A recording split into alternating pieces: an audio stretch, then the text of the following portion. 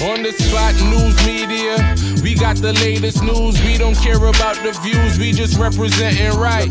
Put local news internationally every night. On the spot, wave that Jamaican flag from left to right. Let's get it right. Y'all know the type. We ain't dealing with the hype. We make it take flight.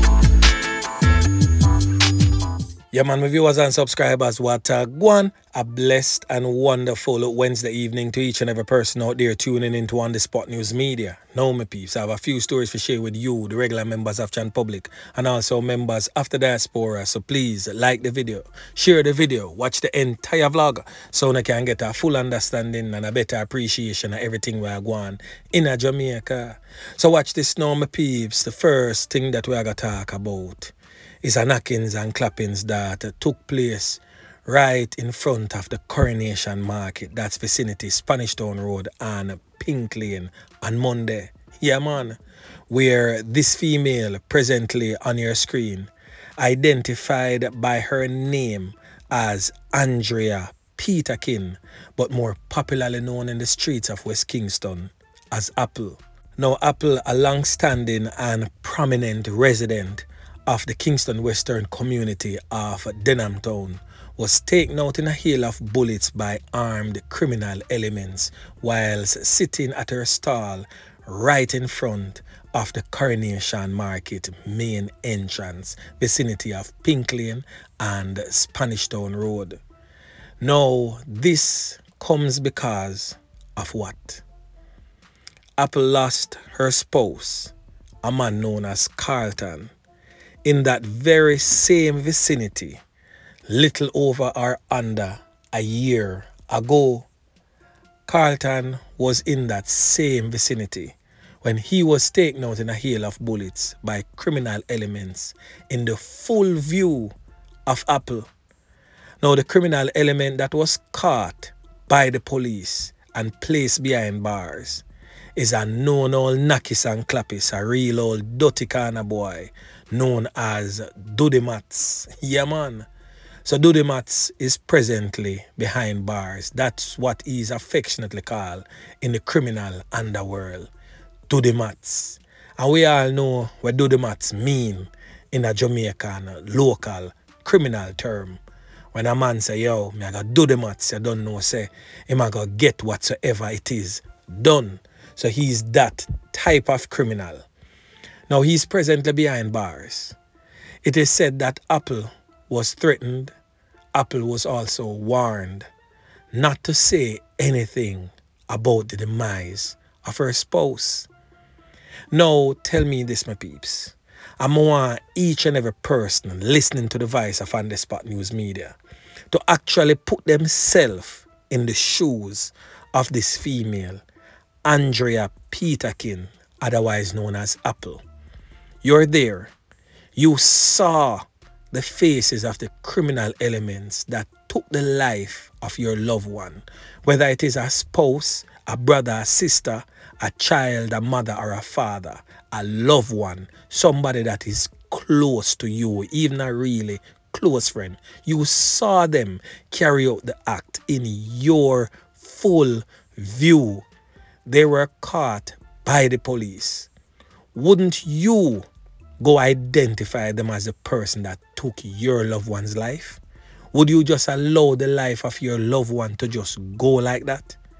Now, when Apple's life was taken, I viewed some of the comments when her picture was posted under It's a Blast on Instagram. And some of the comments, I can tell my peeps, sick, drunk her stomach. Yeah, man. Some of these people are nothing but a set of criminal elements themselves, criminal supporters, but indirectly so.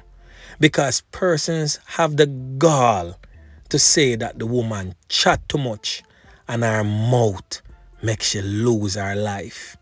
Can you imagine? How can you not say something when you saw a criminal element take the life of your loved one?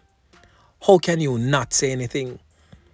So these persons are no better than some of these human rights group who point fingers at the victims instead of the actual criminals who continues to wreak havoc on our society and members of Chan Public. How can you blame Apple? It is said that she went to court the very same day when she was slaughtered in the streets of downtown Kingston. So instead of persons coming out against the criminal elements that took her life, they're slaughtering Apple's name in the comment section, saying that her mouth makes you lose her life.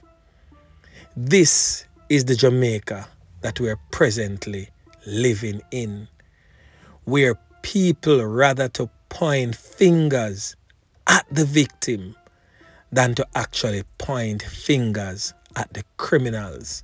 And this is why these criminal elements continue to unleash wrath upon the members of Chan Public. And to the old Krasmite them and the old kind boy them in the comment section under Apple's picture and it's a blast. I'm saying this to you You won't understand. You will not understand until it comes knocking on your door. I really can't believe the level of dunceness in our country. The words coming from some of these people's mouth is atrocious. Totally in shock and disbelief. But as I've always stated, still, you know, nothing much in life frightens me anymore. Because everything that goes against what is right, principles, upliftment, everything that is going in the right direction, people are against that and trying to create a new norm. Well, they're not trying, they have successfully created a new norm and go against everything that is right and everything that has value in society. They are the total opposite of that because non-progressive element are that aware right you know. Yeah man. But anyway, make we continue. Now, a knockings and clappings go on over there in the parish of St. Catherine. In the St. Catherine South Police Division, to be more specific, Old Harbour, where this man, presently on your screen, was taken out in a hail of bullets by criminal elements on the night of November 10th. This took place at a place known as Marley Gates, just on the outskirts of Old Harbour. When his life was taken, not even the police could identify him. No one in the area really know him because he was a stranger to that particular community. Well, he has since been identified as Davion Wilson. Yeah, man. Said to be a resident of Seaview Gardens. And his life was taken, as I stated, on November 10th sometime in the night. Now, from reports received by the police, is that sometime around 8.30 p.m. on that day in question, Davion Wilson was sitting on the outside of a premises with another man talking. It is said that he was accosted by armed criminal elements who would drag him into nearby bushes and con him up several times leaving his body lifeless. It is said that after the gunshots rang out thereafter, the police was called in and his body was found lifeless in the bushes. The police stated that they have taken one man into custody so far that they believe can assist them with their investigations. Now, a person who does not wish to be named basically gave us a rundown of the man in question, Davion Wilson. The person stated that he's a highly qualified professional possessing a master's degree in business management and travels between Jamaica and Canada, where he is also a permanent resident. The person also stated that he travels to Canada and he is an executive board member of the Canadian Association of Urban Financial Professionals. He's also a contributor to the Canadian Sick Kids Foundation. It is said that he also sang as a backup singer with gospel artist Jermaine Edwards, and he's said to be a devoted Christian man. Now, it is said that during his time in Jamaica, Davion Wilson also worked as a consultant with Scotiabank on its external credit and marketing portfolio. He was a supervisor at the planning office at his alma mater university, that is the University of the West Indies, and also a senior credit analysis at Grace Kennedy Cooperative Credit Union. The person also stated that he's presently in management consultancy and he travels between Jamaica and Canada because he's the main caregiver of his grandfather who is presently ill in Canada. It is said that he has been taking care of his grandfather and is the main caregiver that manages his grandfather's care and his grandfather's affairs. Now his grandfather had several strokes shortly before his passing and now his grandfather is not doing so well after learning that his caregiver, his beloved grandson, is no longer among the land of the living. So, in essence, Davion Wilson was an upstanding Jamaican with wonderful human being qualities. He had a tight group of friends and family members, including his two siblings. It is said that he was not married, had no children, and both parents are still alive and living in Kingston.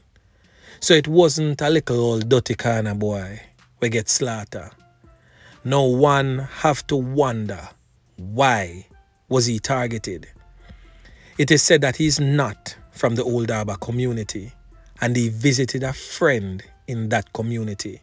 The same man that he was sitting on the outskirts of the yard talking to when he was taken by criminal elements and brutally conned up leaving him lifeless, no longer among the land of the living. No one need to take into consideration. The person stated that he's a very careful individual.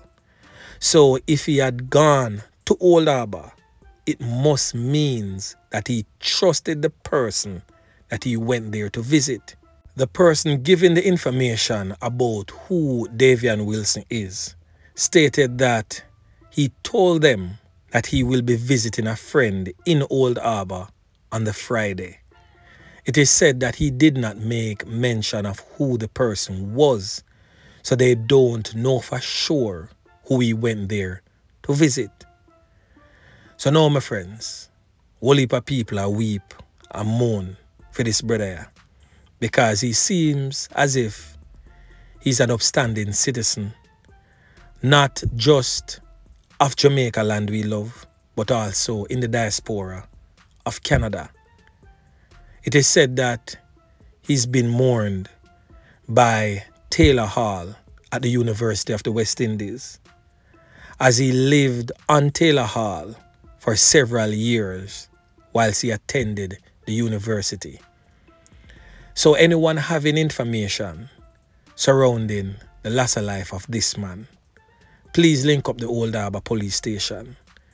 They will most definitely be grateful for the help to solve this particular murder. Yeah, man. So, you know my peeps. Remember to like, share, subscribe to the channel. Stay tuned to On The Spot News Media as I continue to bring you fresh news and updates in subsequent newscast. On The Spot News Media. Yeah, man.